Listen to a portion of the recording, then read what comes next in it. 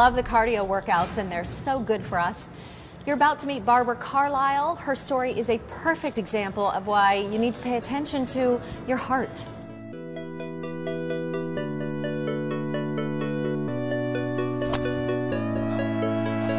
All right. Beautiful scenery, Even if you don't play a good game of golf, how can you not love being outside?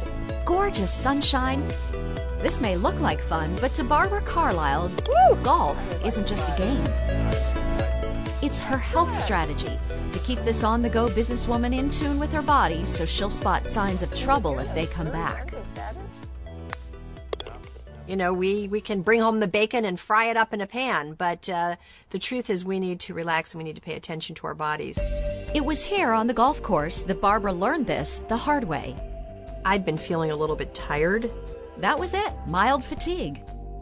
Sound vague? Barbara didn't think much of it at first.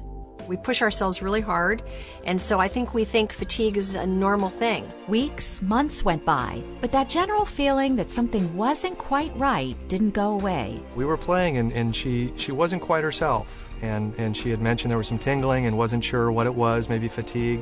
I had this little tingling sensation in my hands. Still, Barbara had no idea of the dramatic changes her body was going through inside. Women don't have these Hollywood heart attack symptoms. The symptoms in women can be so subtle.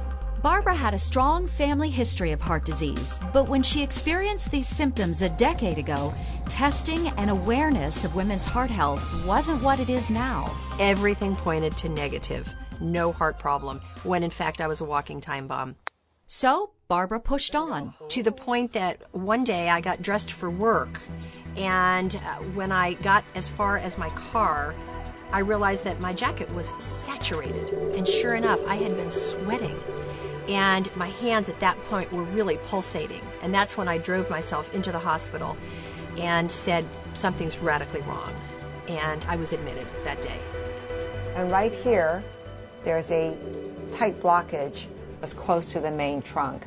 So if that artery had gone down, she would have had a significant heart attack.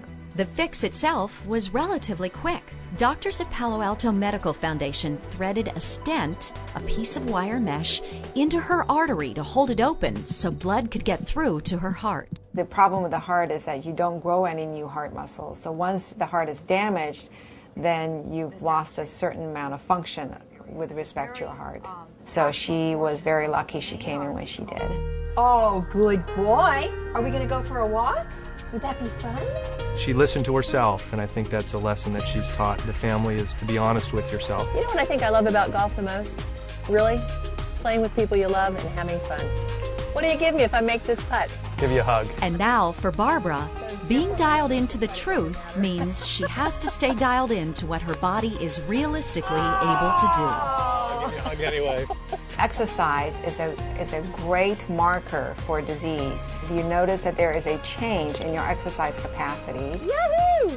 or if you have any symptoms with exercise, uh, you should definitely check it out with your physician. As women, we care a lot about how we look. We care about our hair, we care about our nails, we care about our personal appearance. Great shot. It's really caring about the internal part, though, that is so critical. Patrick, do you have any great suggestions of how to get out of this sand trap? Yeah, don't put yourself in it. I feel fantastic. I have the energy, again, of a 30 year old. And it's kind of, uh, it's, it's wonderful. I feel great. Woohoo! If you're stressed out all the time, your chance of having heart trouble skyrockets. Talk about motivation to work out.